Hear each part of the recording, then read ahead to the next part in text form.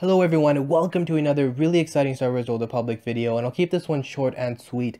Today I'm actually talking about a new cartel market exploit that exists in the game. I was contacted by someone who apparently watches my channel and he said he's been using an exploit for about a year and a half now has not been caught by Bioware and apparently this exploit gives you a really high chance of getting gold items from hypercrates. I was very skeptical. He actually directed me to an article that I'll link in the description which kind of talks about this conspiracy that RNG isn't really that random. You can actually predict uh, what are the best times to open a pack in order to guarantee yourself of getting good stuff. And he showed me a little algorithm that he uses to try to uh, you know increases the chances of getting some really good stuff. And so I decided to put this to the test.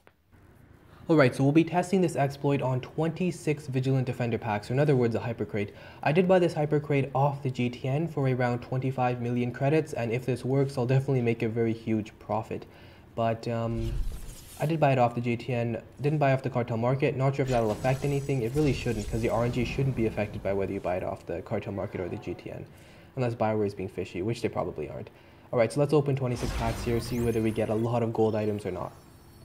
And the first pack here contains no gold items. Not off to a really good start, not sure if this is going to work, but the second pack here does have a gold item. We got a gold decoration.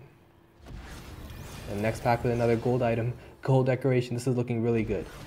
Another gold item. Okay, it seems like this is actually working. I can't believe this. Uh, that's the cunning statesman. Uh, another gold decoration. And nothing here. So once again, remember, it gives you a really high chance of getting a gold item, but doesn't guarantee it. And another cunning statesman. And there's another one. So it seems as though the RNG is really getting messed around with here because it's giving me the same items over and over again. Uh, we got the cunning statesman a bunch of times. Here's another gold decoration. So uh, really kind of goes to show it's getting pretty messed. Here's at least a different item. We got the reclusive master. But yeah, another gold decoration. So I don't know. Maybe that's just from the pool it's choosing from. Like there's a specific set of uh, gold items you could possibly get and it just keeps giving me the same ones over and over again. But we do have a platinum here.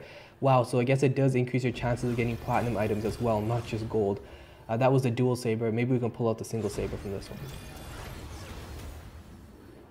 Another gold decoration. Aha, finally something different. The Protector's Command Throne. So, uh, you know, you still got a good chance of getting some of the other good stuff too and the uh, companion. So here we go. Now it seems to be varying up the gold items I'm getting a little bit.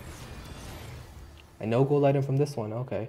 See, it seems as though it switched it around. So each pack that gives you a gold item is so much more common. And then it's like really rare to get a pack that doesn't give you um, a gold item. Here's another platinum. So yeah, definitely increasing the chances of getting your platinum items. Another dual saber though. Another companion requisition. This is looking really cool. I can't believe this. So many gold items. Here we go, back to the Cunning Statesman. The Corrupted Acolyte, there we go.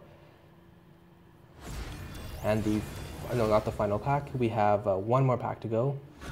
And this one contains, oh, okay, just two Grand Chance Cubes. Wow. So yep, the exploit most definitely works, and apparently this guy's been doing it for quite some time.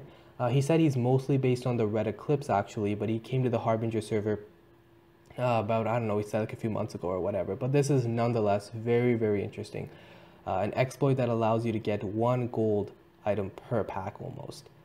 I think I did average around 24 gold items from this one and then two platinums, which is insane. Once again, I can't really go into the details of how this exploit works. I could get in very much trouble for that. I think my account can even get banned for that. So I can't really do that. But uh, you know, I'll update you guys on what I'm going to do about this. I mean, am I going to report it? Am I going to use it? I don't really know. Uh, we'll see what, what's said about this. But anyways, I hope you guys enjoyed. I'll see you guys in the next one.